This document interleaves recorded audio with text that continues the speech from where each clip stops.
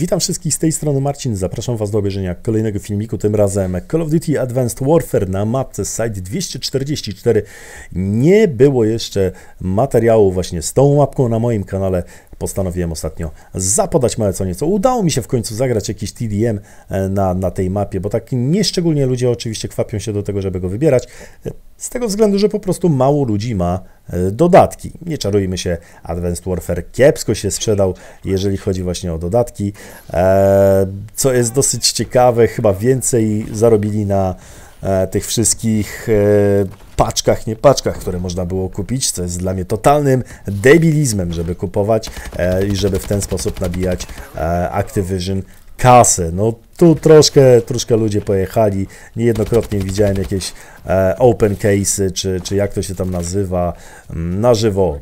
Zakupuje się 50, czy tam jeszcze więcej, 250 tych, e, to nie są tutaj battle packi, tylko tych wszystkich supply dropów. No i oczywiście oglądamy i super podniecamy się tym, że dostaliśmy właśnie takie, a nie inne kamo porażka jak dla mnie, szczerze mówiąc. I dziwi mnie to, że niektóre takie już dosyć dojrzałe osoby, które e, no, dosyć dużo już spędziły przy Call of Duty, podniecają się czymś takim i robią to tak naprawdę czysto pod publiczkę. Ale ja nie będę nikomu mówił, wiadomo, jak ma prowadzić swój kanał. Jeżeli chcą robić to w ten sposób, proszę bardzo. Słuchajcie, w tym filmiku chciałem zupełnie o czym innym powiedzieć. Eee, oglądajcie sobie na spokojnie oczywiście tutaj gameplay. Eee, chciałem poopowiadać o sprawie dosyć kontrowersyjnej, życiowej eee, i może, no, nawet nie może, ale na pewno nie związanej oczywiście z grami. Eee, chodzi mi tutaj o, ale zanim powiem, to zobaczcie, zobaczcie co ten kolej zrobił w ogóle. Przebieg. Bot Totalny bot. Nie wiem, nie wiem o co tu chodziło, ale sam byłem zdziwiony, co on odpierdzielił. E, słuchajcie, mm, w związku z tym, że byłem na Węgrzech, w związku z tym, że mm, no bardzo mi się spodobało przede wszystkim tam. I dosyć taka fajna kultura, dosyć ciekawe sytuacje. No przede wszystkim na przykład e, dość, dość, pocieszne podejście do tego, e, no, gdzie można pić. A więc e, picie w miejscu publicznym, no problemu, słuchajcie. Kupujecie sobie trunek jakikolwiek byście nie chcieli, wychodzicie przed sklep i możecie nawet usiąść przy stoliku, który jest specjalnie dla Was przygotowany, po prostu opierdzielić flaszkę i nikt wam nic nie zrobi. E, I dobrze i niedobrze oczywiście, bo w przypadku Polaków, nie wiem jak jest na Węgrzech, ale akurat nie widziałem, żeby tam zbyt dużo ludzi e, się zataczało. Szczerze mówiąc, żadnego nie widziałem takiego, który był totalnie nawalony. A u nas e, takie rzeczy to by było po prostu non-stop przesiadywanie, non-stop nawalenie i tak dalej, i tak dalej. Tak więc tutaj oczywiście wszystko rozbija się o kulturę picia. Ale co jest dosyć bardziej e, ważną, ważną taką kwestią, to słuchajcie, to co działo się ostatnio na Węgrzech i to, co się z tym wiąże, a więc uchodźcy. E, ja wiem, że to nie jest, to nie jest może temat na, na rozmowę przy grze, ale wydaje mi się, że warto, warto o czymś takim rozmawiać, bo szczerze mówiąc, e, pewna rzecz mnie dosyć e, nie tyle zirytowała, ale stwierdziłem, że może być coś nie tak, jeżeli popełnimy jakiś błąd jako, jako państwo. Słuchajcie, ja bardzo współczuję oczywiście tutaj uchodźcom. Nie powinno się tak dziać, że ktoś wbija wam się, czy, czy to jacyś separatyści, czy, czy e, no generalnie jacyś tam e, rewolucjoniści, kurczę, i robią rozpierduchę, wszystkich wybijają i tak dalej, i ludzie po prostu muszą uciekać z kraju. To, jest, to nie jest fajne. To nie jest fajne, w żadnym kraju nie powinno się tak zdarzać. No i tak naprawdę e, powinno się jak najbardziej wspierać takie kraje.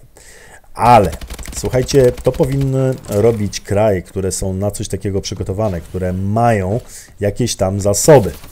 Niestety, ale w Polsce takich zasobów nie ma. I ostatnio słyszałem dosyć ciekawą e, historię, że e, Polska powinna przyjąć e, wedle zaleceń Unii ponad 20 tysięcy e, uchodźców.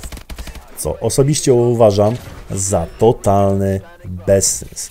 Słuchajcie, do takich do przyjęcia takich ilości uchodźców powinny się przygotować kraje, które są do tego bardzo dobrze finansowo ustawione. Polska do nich nie należy. Polska przede wszystkim ma mega problemy ze sobą, czyli a, służba zdrowia i inne takie tam pierdoły. Słuchajcie, to wszystko leży i kwiczy.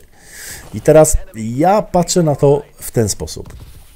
Jeżeli miałbym wybierać między tym, czy dać mojemu synkowi coś do jedzenia, czy dać uchodźcy, to w ogóle bym się nawet nie zastanawiał. Oczywiście tutaj e, na pierwszym miejscu rodzina, o nią trzeba e, zadbać.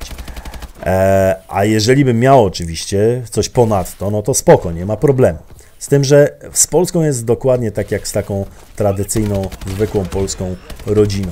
Niestety, ale nie jest ona kompletnie przygotowana na to, żeby tej drugiej osobie cokolwiek oferować.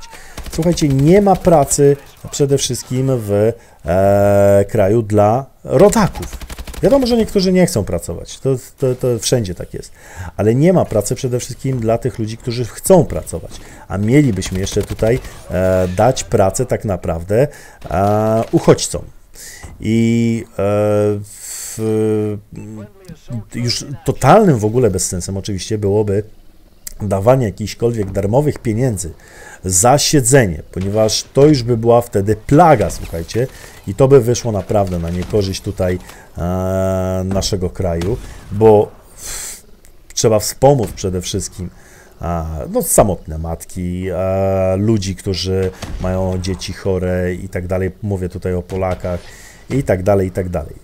To nie jest jakieś tam nacjonalistyczne gadanie, słuchajcie. Ja nie jestem za tym, żeby nagle tłuc tutaj kogokolwiek i tak dalej, ale wydaje mi się, że te kraje, które e, powinny się poczuć do odpowiedzialności, no na przykład chociażby Stany Zjednoczone, które dosyć dużo mieszają, a mało tak naprawdę potem e, starają się mm, cokolwiek poprawić, to właśnie takie kraje, takie wysoko rozwinięte, z takim e, budżetem powinny wspierać e, takich uchodźców, ale na pewno Polska do tych krajów się nie zalicza. Tak więc e, no, mam nadzieję, mam nadzieję, że tutaj ta sprawa w jakiś sposób zostanie normalnie rozwikłana, bo to nie jest normalny sposób, żeby przyjąć tak nagle 20, ponad 20 tysięcy uchodźców i a, rób ta co chce tam. Nie, nie, to tak nie powinno działać.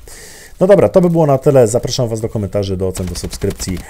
Wynik, e, szczerze mówiąc, nawet nie pamiętam, jaki tutaj osiągnąłem, ale chyba, chyba dosyć, dosyć przyjemne. 30 coś, 30 coś. Zaraz zobaczymy zresztą. O właśnie, AK-12 Hair Trigger. Takiej broni tutaj używałem. Jeden z najlepszych hakaczy, muszę stwierdzić, e, w Call of Duty Advanced Warfare i on mi się najlepiej jak na razie sprawdza.